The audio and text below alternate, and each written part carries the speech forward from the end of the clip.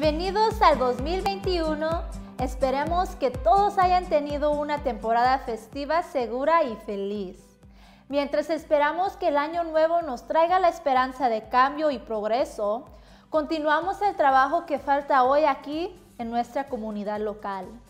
Esto es tu actualización semanal con Karina Espinosa desde el Clarence Muse Center en Perris, California, donde usted encuentra las últimas actualizaciones aquí en la ciudad. Los funcionarios de la ciudad han anunciado otra extensión para las pruebas gratuitas de COVID-19 hasta el 15 de enero en el gimnasio Bob Glass. El sitio de pruebas estará abierto de lunes a viernes, de 7 a.m. a 7 p.m. y cierra los fines de semana.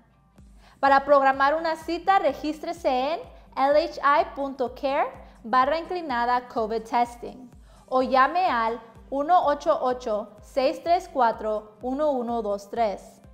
Hay operadores en español disponibles.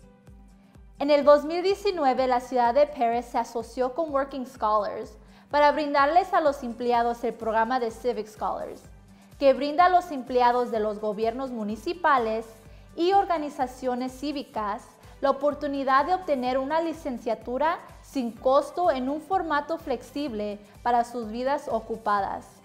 Felicitaciones a nuestros nuevos graduados.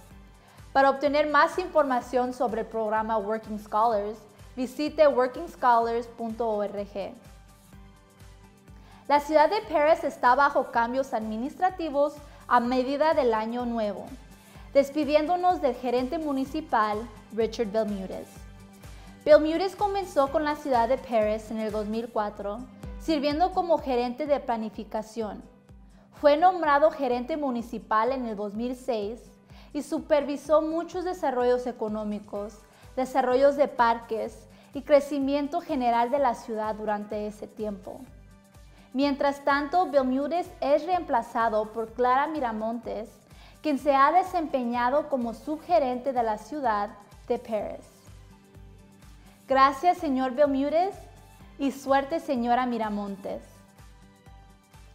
Si no lo ha hecho, nos gustaría animarlo a realizar las encuestas de Fossfield y Copper Creek y dar a la comunidad opiniones sobre estas expansiones potenciales del parque, ya que la ciudad espera asegurar la financiación de subvenciones Proposición 68.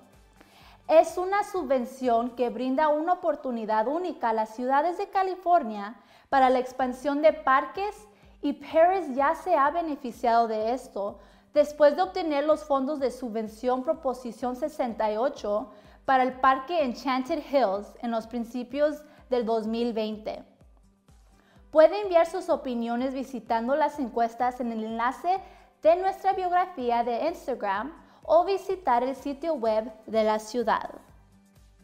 Para obtener más actualizaciones de la ciudad, síguenos en Facebook, Instagram y Twitter y suscríbese a Paris TV en YouTube.